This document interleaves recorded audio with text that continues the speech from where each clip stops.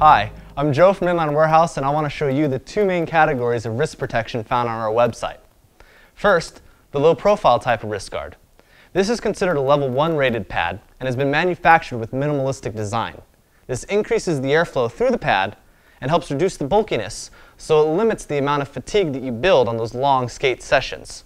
This is a great pad for adept skaters or anybody that's comfortable skating because it will provide the minimum amount of protection and help reduce the bruises or scrapes should the worst happen.